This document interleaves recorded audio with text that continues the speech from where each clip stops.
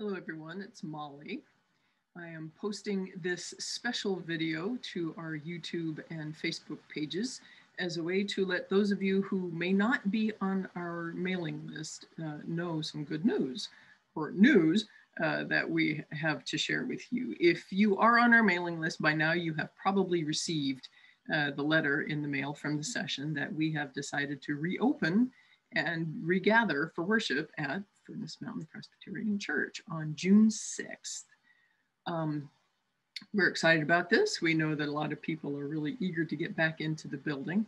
Uh, and so uh, considering that uh, the, the virus seems to be abating and more and more and more people are getting the vaccination uh, and herd immunity is building up, uh, it seemed like a good time to give it a try.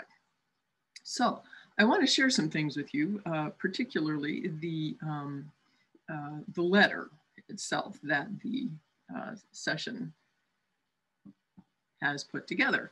So um, here it is. Uh, we, we are eager to get back in, but we do have some uh, requirements, uh, some requests to make of people who do rejoin us. We ask that everyone, while they're in the building, please wear a mask.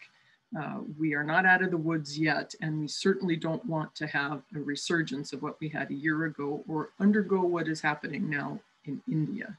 That would be a nightmare. And so we want to keep everybody safe. So please, if you're in the building, wear a mask. Um, if you come, please keep distance from those with whom you are not regularly in contact. And we ask that everyone refrain from handshakes and hugs until a later date. Uh, being face to face is going to be great. I know we'd all love to give one another great big bear hugs, but we need to be careful. We still need to be cautious. We're going to make sure that our building is uh, well ventilated and that the air inside air circulates to outside air during the worship service. So that means we'll probably have our windows open just a little bit. So you might want to bring a sweater or a light jacket just in case it gets a little chilly that day. And um, until it's safe to do so, we won't be singing.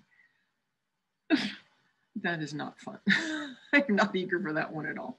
Um, so those are the those are the requirements and those are our plans for when we get back together. If you're not comfortable with that yet, um, we still have the option of uh, being connected via the internet. I am still going to record the services and I will still post them to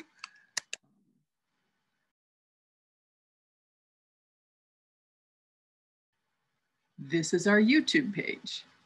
And if you go to log on to YouTube, uh, youtube.com, and search for Furnace Mountain Worship, it will bring you to this page. And here you can see the videos that I have been posting uh, for um, for worship for definitely this past year. And I actually have some videos from the end of 2019, so you can go there as well. The other place you can find us, if this is this is if you don't have a Facebook account or you don't want to mess with Facebook, which you know, I get. Um, but if you do have a Facebook account and you are a friend of the church, this is our Facebook page, Furnace Mountain Presbyterian Church. Whoops, go away. And um, all you need to do is go to Facebook and do this little search here at FMPC 2020 Presbyterian Church.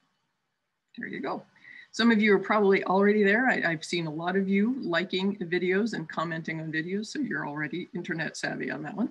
Uh, but this is how we're going to continue to keep in touch.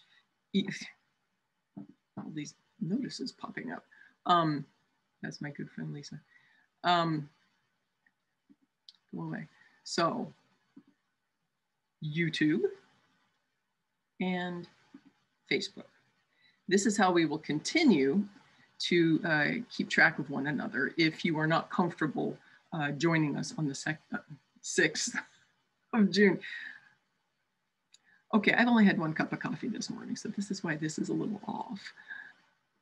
Well, I hope, pray that by being inoculated and by taking these, uh, these precautions, we can get back to a, a gathering that's is more, uh, more similar to what we are used to. We're never going back to the way it was. That life is gone. That's, that's, that's in the past. But God has seen us through this time, And so with grateful hearts and with thanksgiving, we are taking this opportunity that God has given us of inoculations and continuing to be cautious and safe to rejoin one another in physical space. So June 6th, 9.30 a.m.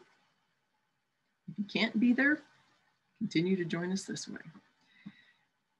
Uh, we'll see you then. God bless.